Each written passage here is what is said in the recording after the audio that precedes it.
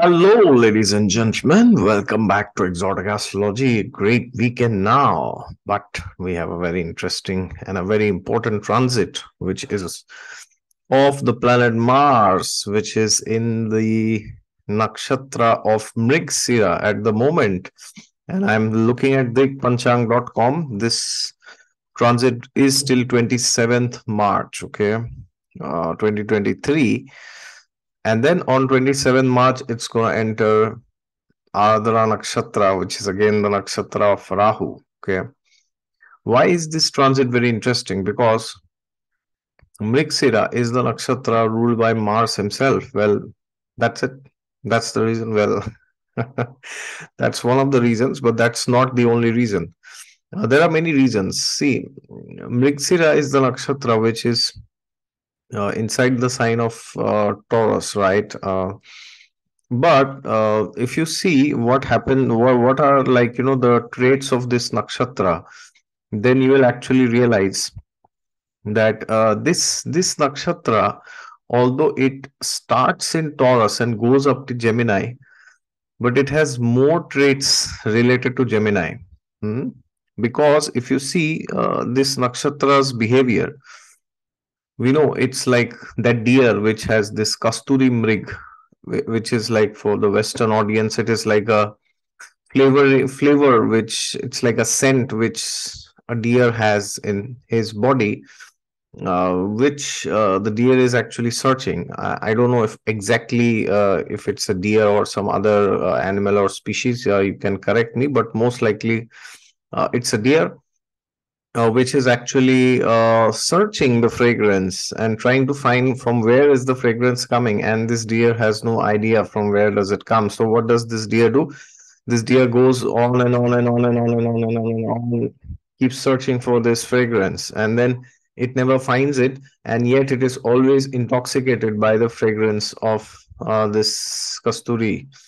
So because of this what happens? Uh, if a planet transits mrigashira there is something which uh, is uh, our situation is very similar. Now when when when i say our situation what does it mean? It means the situation of the houses that mars rules in your chart depending on your ascendant. So for example if you are aries lagna then mars is your lagna lord and your eighth lord right? So then uh, your body your health or you know something to do with in-laws or other people's money insurance inheritance and all this. This can uh, go for a ride in the sense you know you may not appreciate what you have and rather you may be uh, wandering uh, helplessly headlessly by thinking i will get happiness somewhere else. Now uh, this is not necessarily wrong but the problem is if we think that happiness is only outside, then this can make us very uh, empty inside. Okay, and this can uh, prohibit us from being grateful about the things that we already own. And if we are not grateful and we take them cheaply, lightly for granted, then it is possible that you know, in the future uh, these things may be taken away from us. Okay, if we are not careful. So therefore, check which houses Mars is ruling in your chart. Now, I don't exactly know the date from when Mars entered Mrigasira. Let me check in Panchang.com. Maybe it's still there. Okay, 24th February. So it's quite some time there. You see 10 days almost. So uh, since last 10 days till 27th of March. You know, so another two more weeks. So from last 10 days, are you feeling uh, that you need something more in life? That something is missing in your life? Okay, so if you feel that uh, there is something which you need to do without which you will not be happy then uh, which is perfectly fine. I mean we always have to upgrade ourselves nothing wrong with it but maybe there is still something inside your life which you need to look inwards and see if at all you are valuing that or not okay? Now um, as per the scriptural injunctions of the vedas the upanishads and the puranas the animals they have very less intelligence okay now that doesn't mean they're foolish bunch of headless idiots not knowing anything but it simply means that uh, they do not have uh, inquisitiveness for uh, spirituality for religion for god you will never find a dog saying, "Oh yeah, yeah, you know, I want to do Ekadashi." Like you know, yesterday was Ekadashi, at least as per uh, the German Panchang. You know, in, in in India, maybe it was day before yesterday, uh, but you you could find many people doing Ekadashis in India and in Germany, US, everywhere.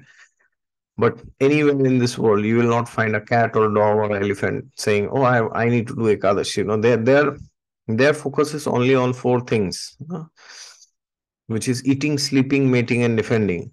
So they will eat. Uh, in fact, whenever I go to Vrindavan, I see all these monkeys hovering around everywhere. The only consciousness, the only the, the only focus that they had that they have in life is they just need to put some banana inside uh, their mouth, and that's all. Or they can take some fruit drinks from your cold drinks or your water bottle or anything like that. You know.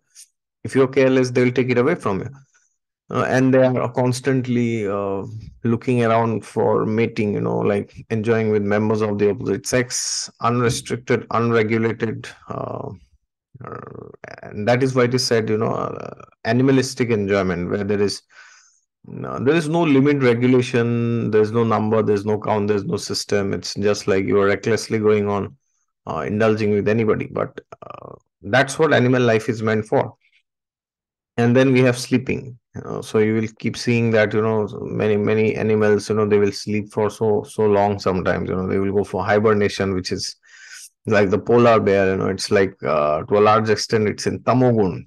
Sometimes you see buffaloes they're just lying down there you know in the mud. Sometimes you see pigs are lying down in the stool. Not a very pleasing sight right? And then there's defending. We see you know the lion and the tiger you know the tiger is chasing the lion i mean, I mean the deer uh, and the lion is chasing the deer and then you know snakes are looking for frogs and uh, the cat is looking for the mouse and so many so many things you will see you know that they're, they're just running around competing to eat you know to defend themselves okay? So that's what animal life is. So Mrigashira Nakshatra, although as I said, has a lot of traits similar to Gemini, but this it can have a lot of prominent traits related to Taurus also, and that's uh, pretty natural because it starts in Taurus, so which is you know like eating and uh, mating can be seen. Okay, and Gemini, as you know, like there's competition, there's like communication, so there is this defending aspect is there. You know, so nonetheless, uh, what we need to understand is that as per the Vedic scriptures, you know, that we at a spiritual level, we are Jivatma, we are not uh, these bodies as we think ourselves to be.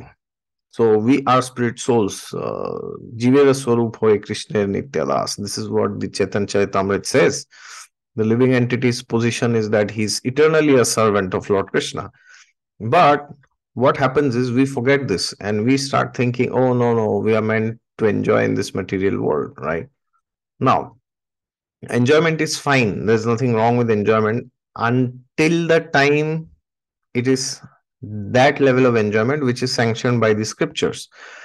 If we go beyond that, then we are uh, going into the uh, area of sin, sinful life.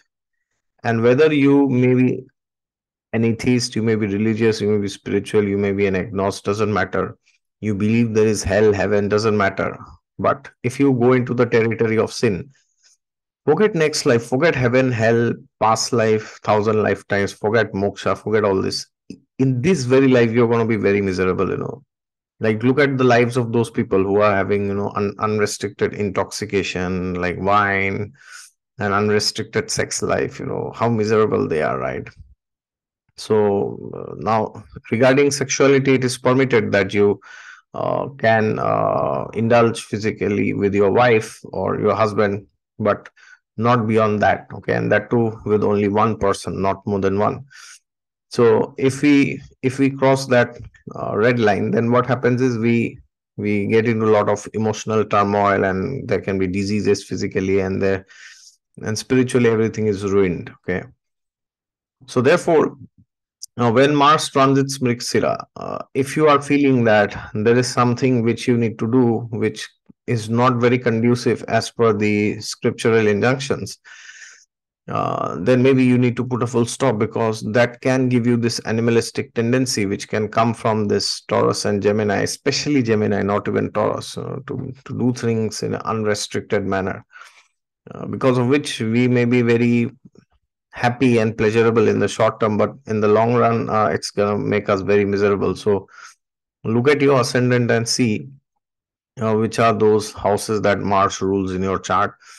And uh, especially if uh, Mars is lording your ascendant or it's lording your fifth house mm, or it's lording your third house then this tendency to enjoy can uh, be much more unrestricted okay? And you need to put a full stop and this can also mean uh, like you know reckless eating anywhere anything anywhere anytime right? So which which may also not be very good uh, which may uh, lead to a lot of expenditure. So if Mars is your second lord, sixth lord, uh, or tenth lord, then you really need to check your expenditure.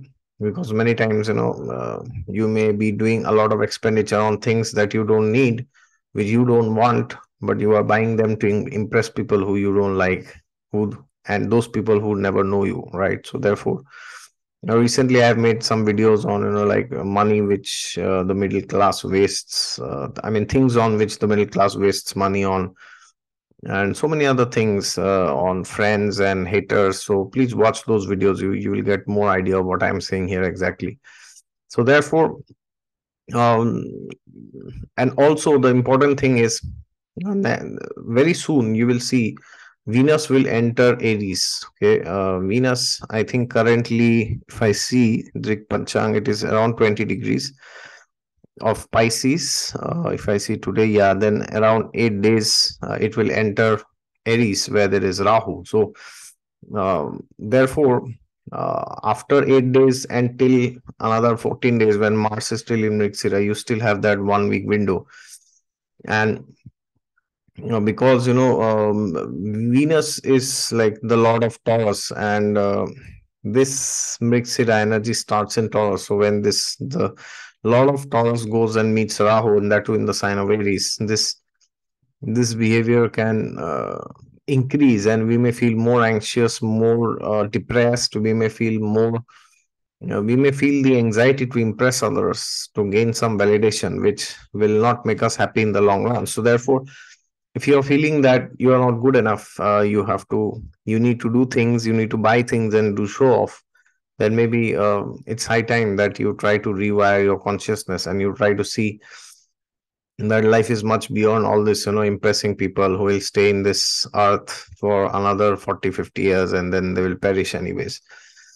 So therefore do not make your life miserable to get praise and do not get into unrestricted enjoyment because that will at the end make you unhappy okay so uh, do enjoyment, but in the scriptural regulations, in the scriptural limits, and that, and along with that, uh, just doing that will not yield much happiness. But doing that along with uh, scripture, uh, spiritual practices, which also our Vedic tradition recommends, like chanting mantras, doing meditation, uh, doing some social service, you know, reading the Bhagavad Gita, the Srimad Bhagavatam, or any religious text that you are inspired by and traveling to uh, divine places, holy places, and uh, eating sattvic food, which is offered to God, vegetarian food without onion and garlic. Um, if you do that, then that is how you will actually experience higher happiness, which is you know beyond all these material requirements.